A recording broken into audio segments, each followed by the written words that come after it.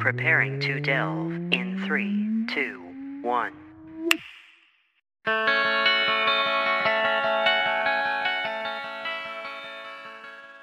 Hello, everybody, and welcome to Delve. My name is Nathan. And I am Alex. Alex, do you want to be the heroes of the story today?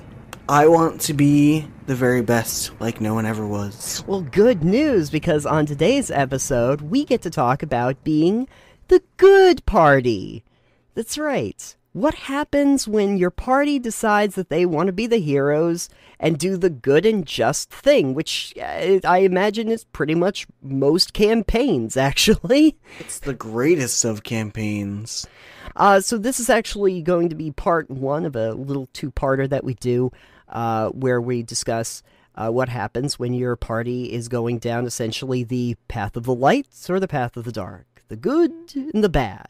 But before we go into a darker place, we need to talk about what happens when you decide that you're going to just help the poor denizens of your world and try to be the generally good party.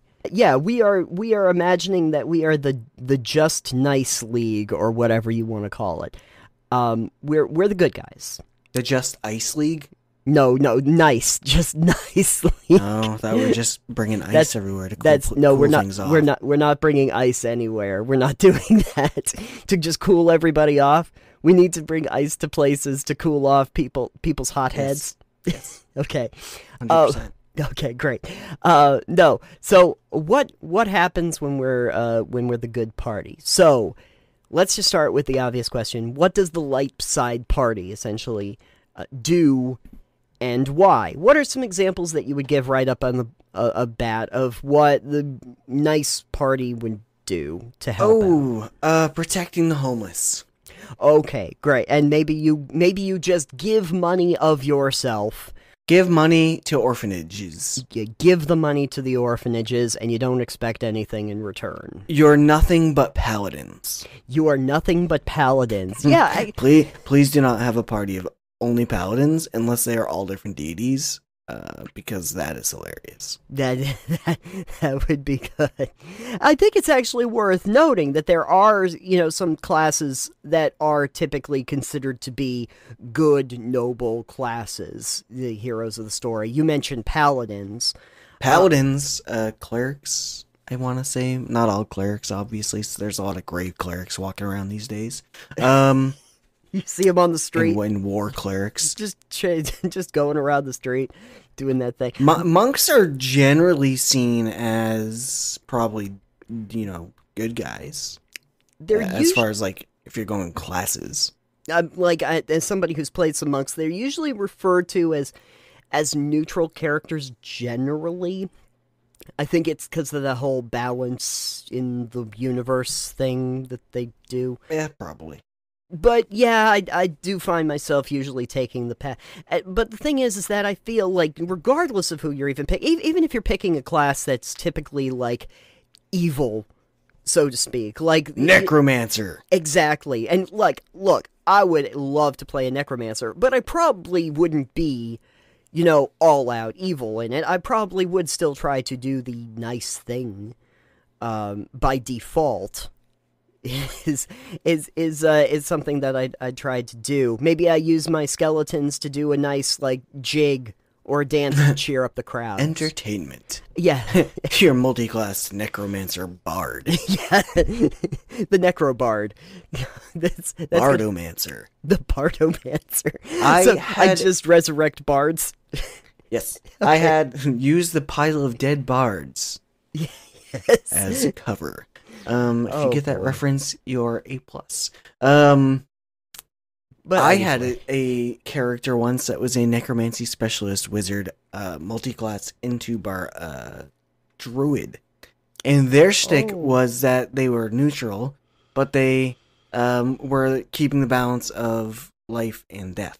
When you get to that point, though, out of curiosity, can you resurrect animals? I mean, why not if you want to? Here, here's another question too. On that note, though, uh, when we say the light side, when they say when they do the right thing, are we also intoning the fact that the quote unquote right thing to a lot of people might be the selfless thing. I think that that's probably yeah. I was gonna try touching on that. Is i i the the idea that essentially what you're doing is not going to necessarily give you any uh, gains that are obvious. Yeah, it's Two. not. It's the opposite of this are the characters that are seen as bad or evil. Um, but generally, a lot of those cases, it would probably be seen as self-serving and in one's self-interest. Right. So we're talking about things that are essentially selfless, done for others, essentially. Um, Feeding Alex feeding is Alex selfless. Is selfless. I And- usually feed myself. uh, unless you are Alex. If you're anybody then it's self-serving. Yes, ex- exactly. It's it's evil to eat, uh, but you you serve you serve Alex, and then that's a selfless option. That's essentially the good option to to take. Um, so the the why part of this, I, I think that's probably a, a bigger conversation we're going to get to as we go through this. Um, but uh, that leads me to a, a question though that I I've always thought about myself, which is is the good path forced on parties? Is Uh, it you, you know what I mean? Yeah. like are they are you made by the quests you're doing or just like the conventions of games? that it always feels like when you get into a campaign, the default is well, you're going to go and help these people, and there there's not a ton of wiggle room. It feels like you are guided toward the path of being the good guy, so to speak. I think in a lot of cases that can definitely be the case. Um where your party is generally oh, your quest is to go do X, Y, and Z. And it's not really a morally gray quest as much as it's you we want you to like save the kingdom. Right. But it's like, what if like the players should always have a choice in what they do and how they solve a quest, Right. even if there's only a few different outcomes that should happen or could happen. Like they should have those choices. Yeah. I think it's a lot harder for for DMs in campaigns, especially pre-written ones, to have that dynamic outcome where it's like, oh, we're supposed to save the kingdom, but we kind of want to join the guys on this opposing faction and like enslave the kingdom. Um, right. It's a lot harder because then you have to, especially if you don't have it written down or planned out. Yeah. So I, I think that's more along those lines is where it's harder to plan for if you want it to kind of go in this type of story, it's really hard to suddenly take that story and just diverge it completely the other direction for people in a lot of cases. I I just I always had this idea that like even even when I was trying to put something together is that you kind of want your party to be the heroes of the story like that's that's the general sentiment that you have so sometimes you'll uh, as as a, a game master or dungeon master or storyteller you'll be kind of diverting the the attention or I, I guess kind of like moving your your attention towards the idea of purposefully designing elements that are that are going to take you down that path. There aren't a ton of times at least not in my experience where people will kind of go this is the current situation of things so you going to do anything about that or are you because the party could always technically just walk away but the but if they walk away It's always Yes. fun when you have a plot hook and the party walks away from it. yeah I've definitely read stuff where people are like, "Oh yeah, you're going on a boat," and it's like my guy's scared of the water, and then like that one character that you made for the game is just like, nope. But this is why you're like your session zero is a thing. yes yeah It's because you, you, unless you have a very open-ended campaign, uh, and those are, I've run a couple of those. uh, Those are not necessarily fun to plan for because it's like, all right, you have all these options. What do you want to do? Um, Sure. Most parties, most ca- players don't necessarily want to be given a blank slate like that sure because it's they when you ask players what they want to do here are your options abroad here are your multitude of things you can go do. They're like i don't really know what i want to do. I don't know what my char- char- character wants to do. I don't know where i want to go. I, I guess I, I just always had that idea that you can give players a lot of options and that's fine, but usually in, in especially in a tabletop role playing setting, you you kind of assume that people are going to make some roads that you didn't even imagine they would go down, but you kind of always assume that they're going to be going down a path of being the good force in the world and not a force that's going to set everything on fire even though you know a lot of times it does get set on fire. A lot of times there's a lot of fire. there's a lot of fire.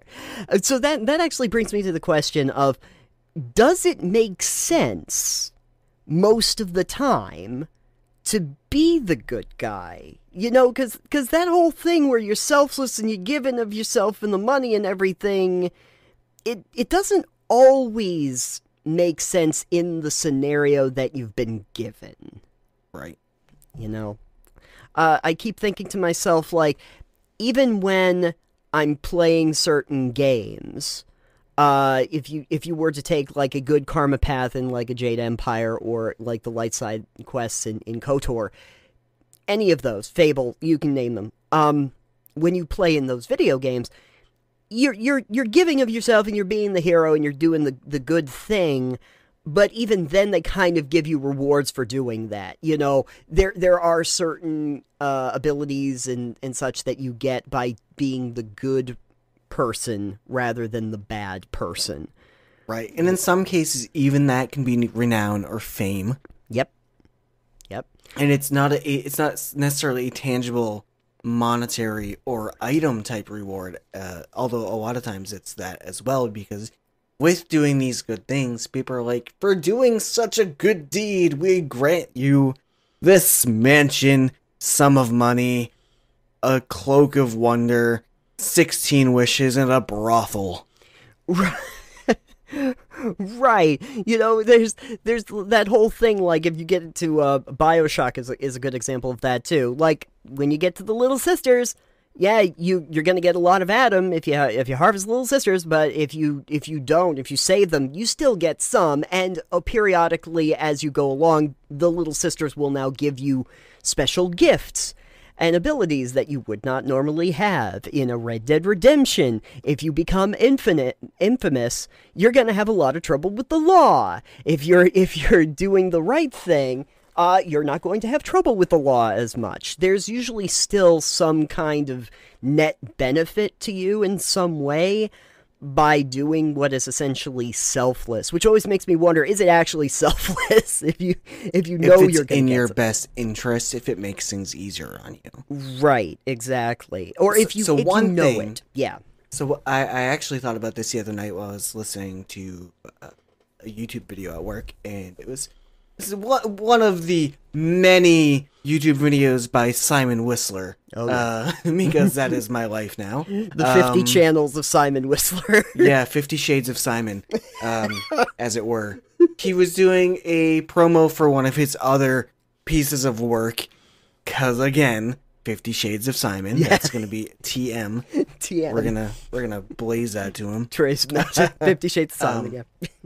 But um, he has a podcast called The Casual Criminalist. Oh. Um, I wasn't. I don't think I was listening to that. This is tangential to this. Okay. Um, but it might have been that. It was about serial killer fandoms, oh. Okay. Like serial killer groupie type things. Yeah. Or or that type of content where people are really enthralled by and like write letters to and get married to, all that stuff. Yeah. And I kind of came across the thought this is totally tangential, but what if you have your party that's doing all these things, but somebody takes hold of that and like starts sending them like letters, and like a courier finds them like, oh, you've got a letter. It's a fan, as it were. Oh. But what if this person becomes, oops, sorry, obsessed with the party or a certain player, uh, character in the party that's doing something? Maybe they're, uh, it could be a an NPC character, like human or elf, or maybe it's like a goblin and it's scrawled in some uh, just really poorly written common Sure. for instance, what if the party's going out clearing tons and tons and tons of goblin ho- uh, uh, burrows, whatever they live in. Fuck. Uh, Warrens? but say, I don't know. yeah, but say like, say they're slaughtering all these bugbears and goblins. Yeah. And there's there's this this one goblin that keeps noticing this and seeing it, and they're enthralled by this ever unleashing genocide of goblins that's going on by the party. But they're like enthralled by it, and you kind of treat them like these people act with a serial killer type deal, and you start giving them fan mail, and they start showing up and like giving the party gifts or something like that. Yeah. But then it turns out they're only doing that because they're like, oh yeah, they see you as absolute murderers. Yeah, you do have to say, like, I, I remember this from Fable. If anyone out there has ever played Fable, I'm sure you have. But there's this whole thing with the with the good and bad, like the good and evil points that you get for things. If you if you go and you go into a town and you start like just killing people in the town, you're gonna get evil points. Like you know that that's just the way it is. But then bandits. Okay, if you go and start just killing bandits, you get good points. But you imagine from the perspective of like a kid that was that was hanging out at the bandit camp, right? like like like you're you're getting all this this attention for being the good guy, and everybody in your camp is getting slaughtered for it. There's definitely a perspective issue there. Yeah. And that's Like- a whole other again, that's a whole other thing. Oh, that is a whole other thing. We might actually cover that in the second part because that's that is definitely uh, a, a way of looking at things. Um, but the the general idea too is there might actually be some real consequence. Like we always think about there being some negative consequences for doing the bad thing. That doesn't necessarily mean that there can't be some bad consequences for doing the good thing. Oh, Like- there can totally be Yeah. terrible consequences for doing the uh, quote unquote good thing. The Yeah. what is socially acceptable as the good thing. here's here's an easy example for you. Imagine you're going into a town, and the leader of the town, okay, your local governor or whatever, uh, says that I, I need you to go and take care of this uh, this this uh, group of uh, bandits, or I, I need you to go and take care of. We we've got a, a, a roaming monster. And, and he's going around and he's killing a bunch of uh, sheep. We can't have the sheep, the, the sheep eater around. The the chupacabra basically is going around and and killing our livestock and and that's not good. You need to do something about that. And so your party thinks to themselves oh yeah we don't want that to happen. We'll go out and we'll take care of the the the chup the, the not chupacabra the faux chupacabra The El Macabre. the El Macabre. Okay, so good. And so they go out and you do that for the governor, and, and, and the governor is really happy. But, you know, then later, after you've done that thing and you think you've done your good job and you've saved the livestock and everything, you realize, like, one, the creature that you just killed was like an endangered creature. They didn't bother to tell you that. And also the governor had like sheep futures and, and and was not very good to his people and really just wanted to corner the sheep market. Oh yeah. and, and they also that that creature kept away the dire sheep that would slaughter all the you know townsfolk. You've destroyed the ecosystem basically by trying to do this. There's Destroyed it. an episode of Adventure Time. This one, okay, so basically there's this this monster that's a bully, and they're these these townsfolk that are literal like buildings that are characters. Mm. So this guy's bullying all of them, and Finn, obviously being the hero here, takes the bully and like they're like they reform him, right? They make him a Sure. upstanding fellow, and Jake, Jake Jake is Jake. So, anyways, so they make him up and they go to the town. It's like, wait, what's going on? They're being attacked by these werewolves that are like librarian. I don't know. but there's something I can't remember what they're called. Sorry. Um, but they're like really intelligent werewolves. Sure. Um, they might be aware wolves, I think. But they're like, oh yeah, so Billy was like a natural deterrent for us. By bullying all of them, he had this aura of just like jerkiness that kept us away. It's lethal to us werewolves. So by removing him, mm-hmm. you just took a part of this ecosystem and now we're attacking all the villagers unbridled because there's nothing there to stop us now. So mm-hmm. Finn's like, "Oh my god, we turned him into a good guy, but he we need him to be a jerk or else all these people are going to get slaughtered." yeah, yeah, yeah. So yeah. it's like a really good episode, and I think it actually would do a really good job kind of explaining what we're talking about right this second. right, right, absolutely. So just go watch that. You'll yeah, just watch that instead of listening. Bye. Bye. See you. Okay, we'll be we'll be here when you come back. But yeah, I, I feel like there's a lot of things where the party doesn't do a lot of research on whether the thing that they're doing that's good is necessary. But I uh, but in that in that case, I think this actually kind of lends itself to the next question that I that I had.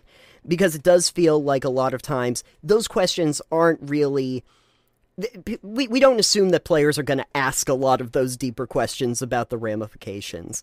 And so my my question here is are players encouraged to be the traditionally good heroes in gaming?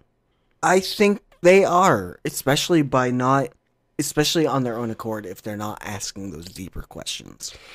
Right, because if we ask those deeper questions, we would have a much more morally gray area that that would cause them to maybe not do the thing that we think that they're going to do. And and I personally love the morally gray areas when I'm uh, running a game. Mm, I like your position to not be completely clear. I like you having to question whether what you're doing is right or wrong, self-serving or better. We had that whole thing I think I've talked about before where we had these two old guys who had these two different opinions and they turned out to be ancient dragons. Mhm. And one was a red ancient dragon, the other is a gold ancient dragon. They should Oh, be boy. enemies, but they're not.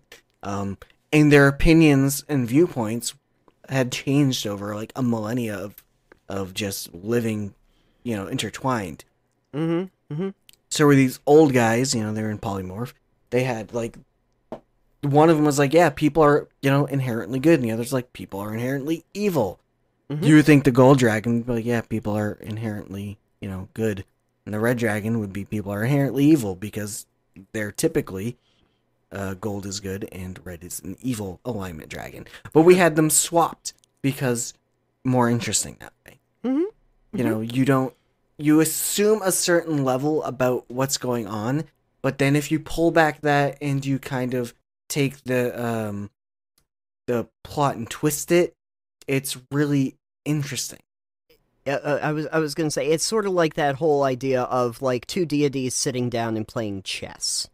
You know, it's that it's that whole thing. Like you know, they're gonna uh, like you you have two beings of great power that are going to now philosophize about the nature of the universe and move pieces around on a chessboard that are essentially us. And it's very difficult at that point for you as a mortal to truly comprehend exactly the the weight of decision making on one end or another Right. as as that goes. Another, I think, decent example here would probably be Batman. Yeah, because if you think they've made the case too that if you look at like the Dark Knight, um, there's a lot of reason to think that the Joker was the hero of that, and that Yeah. Batman Batman actually as a force. Not, not real. Like, essentially, a, a, an authoritarian, like, police state dude. like, you know, taking the law into his own hands, vigilante justice, working outside of the system. Uh, you know, And and on the one side, you know, Batman, you know, Bruce Wayne is doing what he thinks is the good thing, the Yeah. best for Gotham. right? You know, he's cleaning up crime, he's getting rid of criminals. Mm. Um, and the police force is like, should we do something about him? Because he's kind of doing like a good job. And they're like, no, we shouldn't. But at the same time, like he's uh, operating outside of the jurisdiction of the law Right. as well, which Right. makes him a criminal. Right. Right. Um, Right. but then, as you said, the Joker was, I think, game uh, film theorists actually did a whole thing on that. They did. Yeah. where it was you know Joker's the hero because before you know once he was doing what he was doing, crime de-escalated, the mob was taken care of, and Yeah. all of this stuff, and he like the Joker helped cleaned up Gotham Right. because- better than Batman. Yeah, because Batman's Batman's solution to taking care of like the uh, the cartel I can't remember Falcone the Falcone Yes. crime family. Um, his his uh, try to try to catch them and then put them in jail, but there's still a lot of money there, so the family just keeps moving on. And the Joker's solution to that whole thing was, well, I'm just going to take their money. Now they have no money to to deal with. They don't have a reason to stay. That's how he gets rid of it. And and that's why like when people were like, "Okay, so you stole the money just so that you could burn it." Why'd you do that? It's like because it's not about the money; it's about the message. It's Yeah. that's and and and it it works. And then the other thing that people talk about a lot with Batman is, yeah, he's he's the hero of the story, but how much of it is escalation that causes all of the criminals that end up trying to come out so that they can defeat the Batman. Mm-hmm. That's what you get in the sec in, in the last part of the Nolan trilogy with like Bane. Like how how Yeah. much of Bane is I want to break the bat. His whole character is about. Oh that. yeah. Um, so you can technically do the good thing as we imagine the good thing being, but there's some gray area there. also, Batman works by a nature of instilling fear in others. Yeah, I think actually the Batman works really well for this example uh, in general Yeah. here because uh, the escalation thing.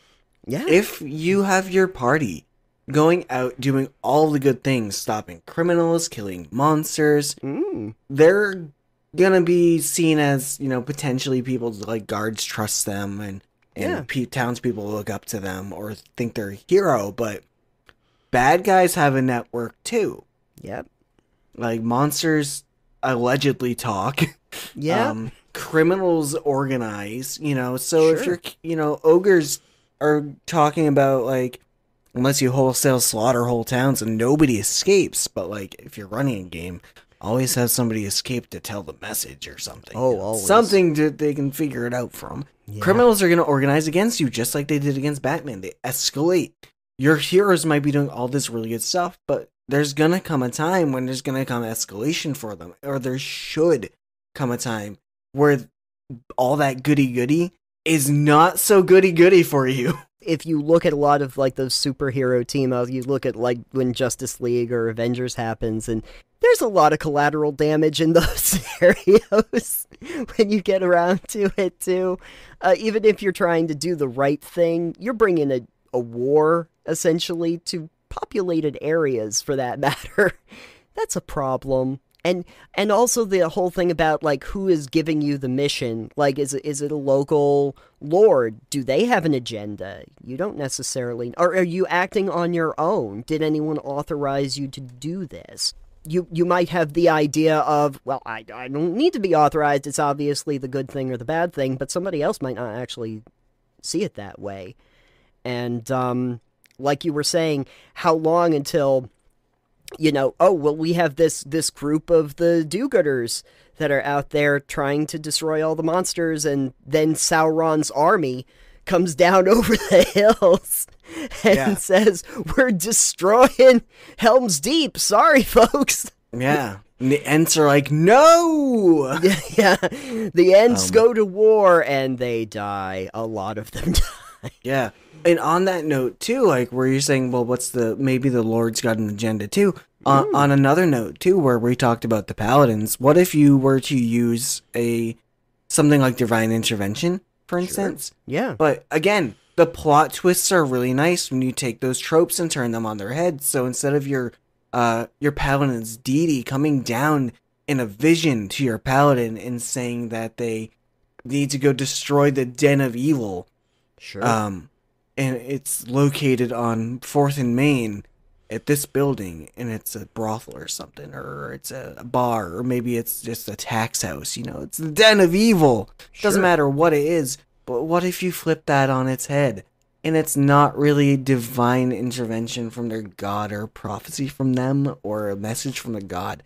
What if it's somebody somewhere with power that is going, all right, well, I can fake it yeah, and it's you know an imposter. What if somebody's somebody found a way to make it seem like it's their deity talking to them and Oh. told them to go do this evil thing for them? Yeah. not only then would your paladin be like what have i done? It would be their god would be displeased. In in a paladin specific sense um they would need to atone for that that leads to a whole character arc in and of itself, even though you're It technically the good guy in this scenario. So You did what you thought was good. You were told it was a good thing to do.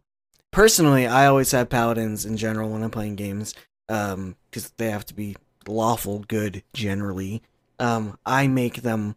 The rule for my paladins games is they are lawful, but they are lawful to their deity in their compass. right, So if your deity, like, you can be have a paladin of whatever god you want. I don't care. But If you have a, a god that is chaotic evil, yeah. you are lawful to that code of conduct your god in there and and well, that makes sense. all of their stuff is. Yeah. So if like, yeah, my god likes to set fire to children. It's like, well, your god would really love it if you set fire to children.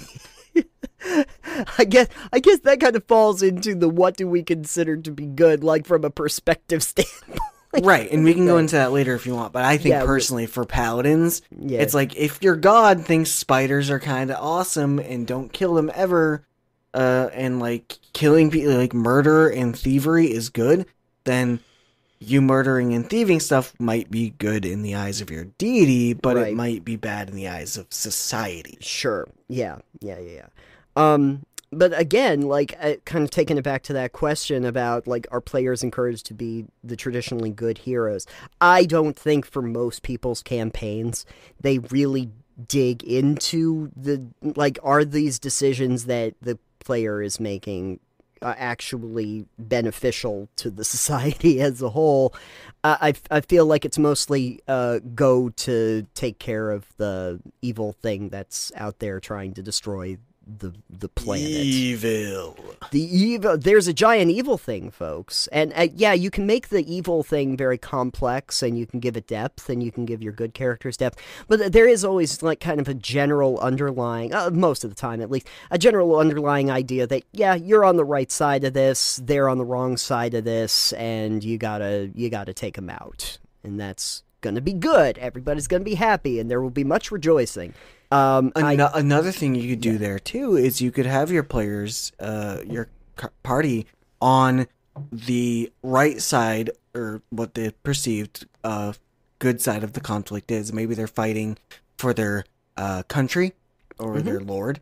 Mhm. And then what if it's like a war? What if they're fighting on the side uh, or whatever? Or perhaps monsters overrun, just kill your lord and destroy the city, mm-hmm.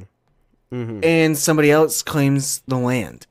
Mm-hmm. and suddenly you're insurgents. Yeah. Yeah. What if what if your war is lost and now you are seen as people that need to be hunted down? It's not that you necessarily were doing something bad, but now because you are doing something good Mm. in the eyes of everything that you were doing, where you were doing it, it was considered good. But now the people in charge are like, "That's not good. You are opposing us. Yeah. You need to be taken out." yeah. Um, unless you're mercenaries, which in that case it's like, well, we just work for gold. yeah. I mean, if you if you just kind of go well, like, hey, I go where the gold is. You're not necessarily good or bad. You're just working for a paycheck. yeah, and then you will be seen in another light entirely. As- absolutely, absolutely. I feel like that's more or less the the neutral path for a lot of people. If you don't have any particular goal or objective or agenda, you're just you're just there for the paycheck. I just I come in, I do the job, and I get paid, and I'm happy with that. I don't think most uh, parties and RPGs do it just for the paycheck. I was never under the impression whenever I'm playing games that I'm doing it for the paycheck at all, even when that is kind of the precursor to go forward. Like in the in, in, in our 1879 game, you know, it starts off with each one of our players uh, being approached by this lord uh, to say that we have a mission for you and you will get compensated well for it, but there is a larger thing inside of that that when I'm, when we're going to check all of these sites in, in like the middle of Caracas out in the jungles and uh, on the plains and in the middle of, of the U.S. that um, we're also doing a lot of research and solving crimes and mysteries along the way that we hope will be beneficial at least to the Lord that gave us the mission. But the whole overarching idea is well, why did you go on the quest to begin with? It's a lucrative thing. Like But do you have you ever in that game have you questioned? Oh, from the very beginning, the motivations were uh, suspect. the The whole notion of that particular game was that it starts in England. It's an alternate history.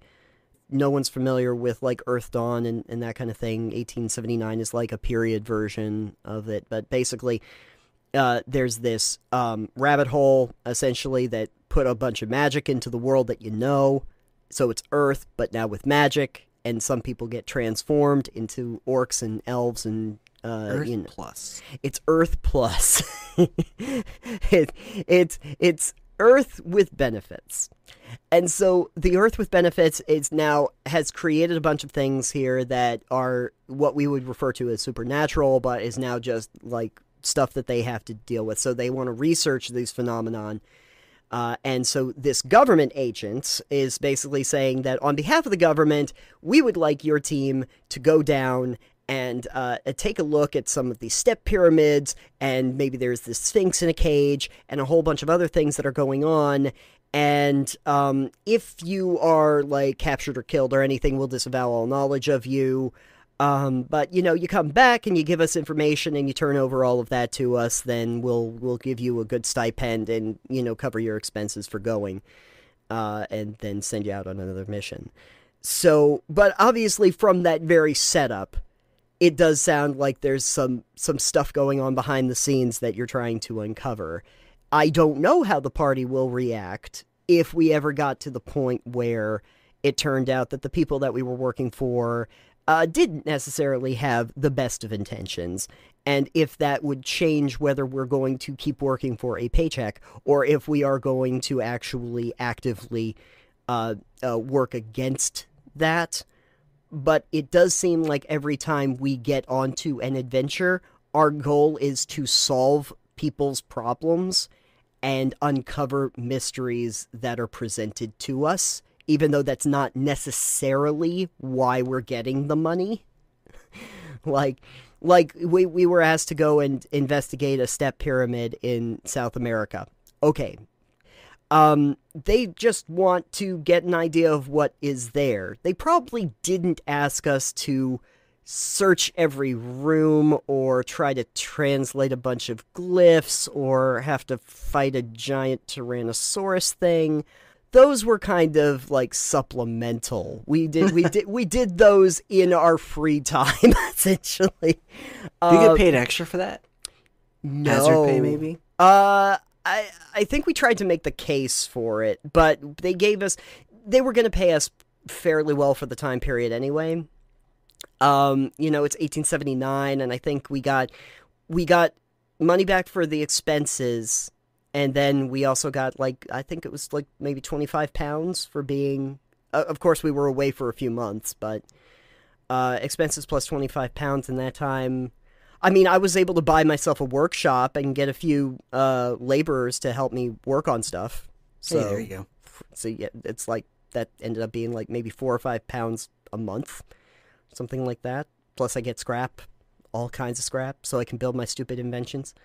Uh, so hey, you know, it was lucrative for me. Essentially, that's rent on an entire you know workshop in downtown London for five months. You know, but you know when we go to the you know the dinner party that we're asked to go to, uh, to the lords and ladies and everything, and um, it turns out that there are apparently a werewolf thing going on. All the normal. Yeah, our our, our base reaction was never, uh, you know, just let that go.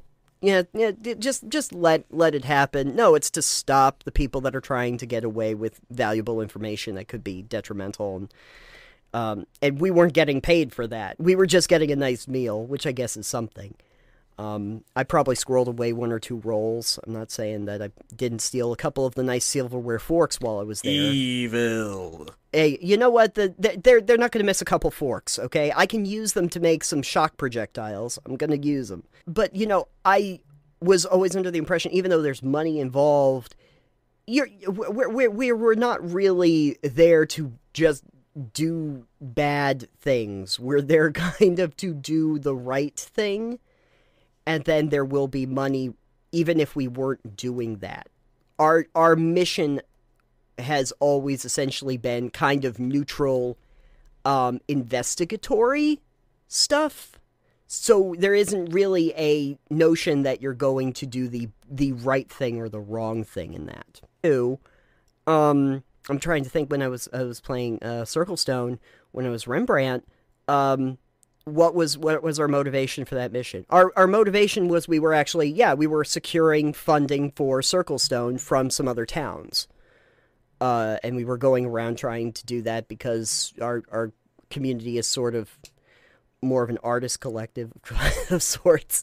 Um, but we were securing funding for them. It's just that on our way back, we end up with a giant orc war we have to deal with, killing a lot of people, and we yeah, have to those, stop those them. pop up from time to time. They pop up from time to time, and no one really told us that we had to try and free the ice dragon. Um, but we did, or the dire wolf that was imprisoned, but we Sure. did, you know. Uh, and yeah, that dire wolf came back and killed a few orcs for us, and so that was a net benefit. But you know, but but you know, we didn't have any illusion that they were going to do that at the time. So generally, the idea was to do the right thing, even if your base mission was not necessarily that. But there was one other question that I wanted to ask before we finish up, and that is: Is it less fun to be good than to be bad? I think that depends on how you play your good characters. Now, I think if you were to play someone like Superman type yeah. goody goody Mr. always doing the right thing, I Mm, think it would be less fun because right. it's, you know, I can do it's not that you can do no wrong, it's that you actually do no wrong. You're, you know, Dragon Scout. you're playing Dragon Scouts. um it's it's i think it's not less fun i think it's less controversial and i think sometimes controversy adds fun or conflict can add fun. And not in the fact that conflict and controversy themselves are fun as players to have um or characters to have. I think it's that they offer you opportunities to create more fun and interesting outcomes. Yeah, I, I think the reason why people may automatically assume that it's not as much fun to be good is because a lot of times good characters are not given the kind of complexity or the the richness that sometimes they need to. They're usually just kind of like the arbiters to do the right thing to Yeah, stop. I've definitely had a player in, in a game I ran who was a lawful good paladin. Um, so it's like, all right, you're in this town, you have a bit of free time. What do you, you want to do? And when it came to the paladin, they're like, is there anyone who needs help? I'm like, no, it's a pretty nice town. There's not a lot of homeless people or anything like that. It's like, who can I go and benefit? Uh, it's like playing the super selfish. Like all they wanted to do was try and like yeah. help people. It's like, dude, hmm nobody here. It's an idyllic town. You don't come across these very often, and it's fairly ritzy. Like they have a lot of money, so they take care of their people. Yeah. It's like it's not some rundown backwaters woods where everyone's got no teeth. Right. Right. Exactly. this is this is not that kind of place. Yeah. I should have been like, this person has no teeth. They really need some teeth. They really need some teeth. Can you go get some teeth for them? Give him Go- your teeth. Can you go make some teeth for them? And Give they him your teeth? own teeth out of your own mouth. Yeah, Um, yeah, exactly. Paladin might do it. on on a completely similar side note there um i've always wanted to have you, have you seen the movie dragonheart Uh, I think a long time ago. It's been a while. do you know the premise it's the knight is supposed to slay the dragon ends up making a deal with the dragon so the dragon keeps going to towns to like it's voiced by sean connery by the See, way See, that's the thing that I remember about Dragonheart was that Sean Connery was a dragon. yeah. Yeah. so the dragon keeps going to these towns to attack them and the knight keeps coming in to save the town from the dragon and slay the dragon and making off like a bandit. Because uh, you know i've always thought about like what if like in the d&d or even rpg universe like see it sometimes. I don't know how often you see it but often uh you see like there's not very many instances i'm aware of where a world has a lot of blight or plague or uh pandemics since we're in 2021 um Sure. but you would think in a world like that, those things shouldn't be very rampant where clerics and paladins and magical healing is abundant. What if you were to go to a town that was everyone was sick and you have a single cleric in your party and they're like, "Yeah, I'll, I'll fucking heal all you guys." hmm It's like just come all to me, bless some water, you know, treat the sick, heal wounds, cure disease, whatever. And it's like, oh, you'd be seen as like the saviors. you could make a fucking racket out of that so easily. Oh, you got a druid? That's right. I'm gonna go poison this water supply up ahead. You guys come in three days from now, after like 20 people have died, and mm-hmm. cure the town, and like become heroes. It's like you could easily create that as a racket if you wanted a morally gray party. I mean, that's not even morally gray. That's like straight up, probably chaotic evil. Yeah. But it's like you could easily do that kind of thing in a D&D game where it's Right. like cuz you don't in a single cleric eh, or a single paladin of high enough level in a game setting like that in a world setting like that can be extremely powerful in that setting not because they're like super com- combat effective but because they like yeah by the power of my god i heal all of your sick so unless you in the game find a way to necessarily mitigate that, you can Hmm. just run away with that. Yeah. Like I see no reason you couldn't get a cleric to be ordained as a saint if you yeah. had that type of shit going on. Mhm. And like just so abysmally rich. yeah. Yeah. That's Like- like that's a racket. Yeah. Why do I want to go do missions for a lord? I can become a lord. Yeah. Any and it's like you hire thugs. Anytime an investigator comes to see what's going on, you have them murdered. Yeah. Or just pay them off. Who cares? I, I I think that's the other side of the coin. That's you're you're you're you've definitely reached in and ended up on on a, a whole other but until you do a lot of soul searching and ask yourself that it's the are we the baddies conversation you know at that point um yeah i uh i i don't know i think it's mostly the idea that you know good characters in terms of being less fun uh it it good characters can be tons of fun uh i I think it's just a matter of they're not usually as richly drawn out as Right. the villains, which is Um, why it, it's why they they ask a lot of actors like, "Why you want to be the villain in this?" It's like because the villain's more interesting. Yeah. 'Cause- 'cause and the- I think characters uh, I think in the next one we can actually get into using good characters as the bad guy. ah yes, It's a thing we can get into if you want to on the next episode. Also, I know uh James was it James? uh James yes. had asked before, I believe, how do you make bad guys good? Okay, like- it might have been James. Yeah, I think it was James. James, if it was you, let us know. If it wasn't James, you let us know. I'm too lazy to look back in the chat while we're recording. um, but essentially, it was, uh, and, and I think we should um, do an episode of that at some point here, where Yeah. we address uh, talking about making notable villains, hmm um, or notable big bad evil guys, or whatever you want to call them, uh, antagonists, as it were. Um, there is a lot there that we could unpack, oh yeah, and and I definitely have a a question I want to ask you about that, and you can, and uh, anyone listening too, I would like you to think about your favorite villain mm-hmm. in all of media, hmm be it gaming, film, books, don't care what it is. We want to know who is your favorite villain and what about them makes them stand out to you. And if you have an answer to that, like send it to us on Twitter or uh, our Discord. Um, I know Tabletop Salt and Seago are really great about doing that stuff in Discord. The other guys, you guys are great too, and gals. Yep, yep. Um, you're pretty good at that uh, when we ask pointed questions. so we um, appreciate it. Yeah, um, but yeah, if you want us to do to do that episode on uh, notable villains, yeah, uh, let us know what villains you really love. I have an answer for this question. I'm not going to share right now.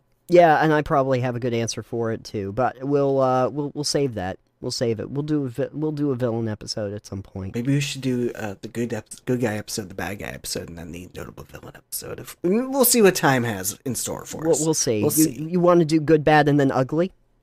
yeah, and it's do- just going to be a picture of us on the album. it's just gonna be that picture of us at the reunion, oh my god! the ugly episode. Welcome to hell, folks. It's just going to be the colors inverted, so it's even worse. Oh yeah, I could totally do a color inversion. That would be great. Uh, we mirror universe us. That's good. Um. Anyway. Bizarro Nathan. Oh God, no one wants. He's just that. socially normal. Jesus. Uh, well, I think that's a great way to lead into the bad conversation. But first of all, we should probably end this episode. thank you, thank you all for uh, listening. And uh, yes, we are looking for notable villains. Uh, you have a little bit of time. Uh, we can uh, do an episode about that. But we are wondering who you liked, and I would also be interested to know uh, if you have any good stories about the bad guy becoming the good guy, because uh, I'm sure no using Megamind as your example. I mean, you can actually use it. I'm just saying. You could, Megamind was a, a decent movie where that exactly that exact thing. yeah, Megamind back- was a good one. Yeah, yeah, that that, that was actually a good movie, uh, surprisingly enough. Um, but uh, but anyway, if uh, you want to get all of the good gaming news that's out there, uh, Alex, where could they go on the internet? somewhere else. Yep, they could go somewhere else. don't don't go to our site. You can you can go to delvecast.com uh, where we've got all of our episodes, Nathan's uh, gaming attempts, as it were. Everything we do is over up on that site there. That's right. And Psitanium Mine and all of our articles and everything, it's it's there. Uh, you can check, click on our Patreon banner. You can uh, check out some of the benefits of becoming a patron. Uh, by the way, thank you to our shiny level uh, patron, Bonnie Ainsworth.